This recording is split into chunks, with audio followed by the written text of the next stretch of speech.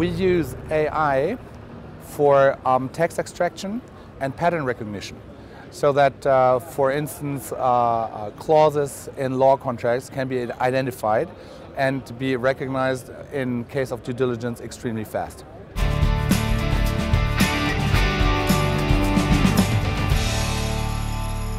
To be able to use prop tech and other new technologies, the industry needs to have some change management.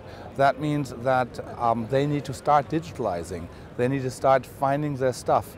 And then you can use AI on a later stage.